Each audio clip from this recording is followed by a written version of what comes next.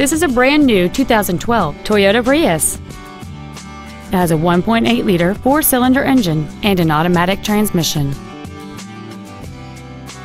Features include a split folding rear seat, cruise control, a rear window defroster, a CD player, a passenger side vanity mirror, a traction control system, an anti lock braking system, side impact airbags, a keyless entry system, and an automatic climate control system.